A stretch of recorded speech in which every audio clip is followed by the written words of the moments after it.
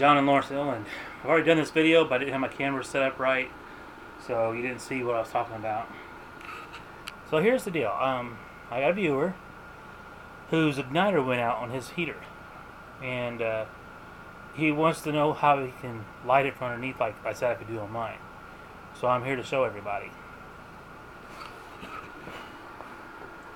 What you have to do to ignite your pilot light on this thing this has the word pilot on here, and you set it on its mark. And you keep this button, you push this button down and keep it down. It'll let the gas flow through where the, pi- the pilot light's supposed to be at.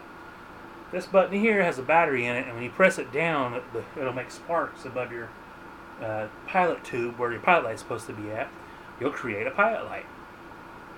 But the sad thing is, is you got to keep this. Whenever you get your pilot light going, you can let go of the button that has the battery in it but the big knob up here, you have to keep it pressed down because there's a temperature device in here. It's right in the flame. And it has to get heated up for a certain amount of time to get to a certain temperature so that it'll let the gas continue to flow through the pilot light and the rest of the device. If you don't have it down long enough, uh, the pilot light will go out. If there's something wrong, uh, no matter how long you have that pilot light button down and the pilot light's going, as soon as you let go, it'll go out. As long as there's nothing wrong, this is how it's supposed to go that I know of. So, I like to use my barbecue grill lighter, but I didn't look for it because I, I wasn't planning on lighting this. I was just going to show you how to light it. Okay, so now I'm going to try to get the camera set up correctly so you can see what I'm talking about for lighting underneath.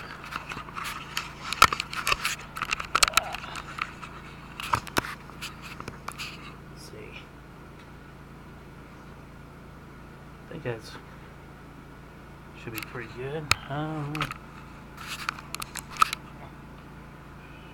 yeah, that should be it. Okay.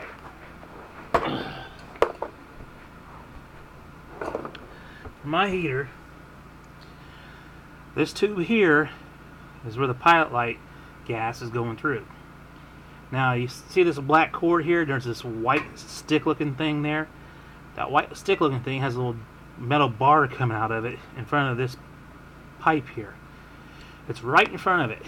So when you uh, light the pilot light, you know, in front of this bar here, where this thing here is sticking out, whenever you light it, um, this here's a temperature device thing that will allow the pilot light to continue to, to burn and allow the rest of the machine to do its job. Now, oh, here we go. You can see the pilot light up there right now, right behind this wrench. if I had my barbecue lighter, I would go up in here like this and ignite it right there. And you see where all these flames are at, well, these gas, you know, natural gas flames are at. They wouldn't be there when I'm doing this, but I could just you know, ignite it. But here's the problem though, is while I'm doing that, I have to be up there holding down that button where, on the pilot light setting so that way the gas will flow through. Otherwise, this ain't gonna work. So you'll be sitting on this. I'll be sitting on the side of this, having the, the lighter ready to pull the trigger to get get to light that pilot light. I reach up with my other hand, keep the pilot light button down, and the gas will flow through. And then I you know I light it and get it lit remove my lighter, but keep the pilot light button down and let that stay lit for about 30 seconds, you know, with the button down. And as long as everything is okay, when I go with that button, it pops up, the pilot light should stay lit. And then I can just turn that big knob to whatever setting I want. And I've only had to set it up to 2. That's it. There's 0 through 9, and the hottest setting I've ever kept it on was 2, right in the center.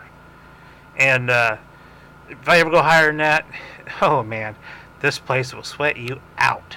Even on three, I put it on. Th- my nephew put it on three one time, and he forgot to take it off. And when I came home, it's like, man, why's my house so hot? he said, oh, I forgot I put it on that. He was playing video games, so he didn't even notice. Move the camera around a little bit so you can see what's underneath here. This here, I believe, is a temperature gauge thing that there's a digital readout on top that'll tell you what the temperature is around this heater. Not in the room, but around the heater itself. I'm like, yeah, fat lot of good that does me. Okay, so um, you see this bracket here, and all the screws and everything. I will not mess with it. I've never messed with it. I've never had anything go wrong, and I'm not messing with it as long as everything's all right. Okay. Well, this is John in Lawrenceville. I hope this helped whoever could use the help. I hope it helped them out. Uh, as long as you can find your gas line, it's usually going to go in the center of the of the heater. As long as you can find these, where where this wire here crosses with this one, you know, where they connect. Okay, you can almost I can almost see it myself, so maybe you can see it.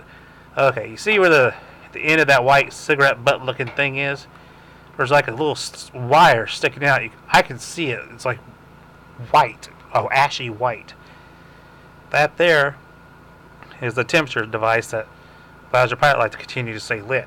So if you see something like that standing in front of a tube like this, then you'd be pretty sure that's your pilot light tube. Uh, and then you can continue on.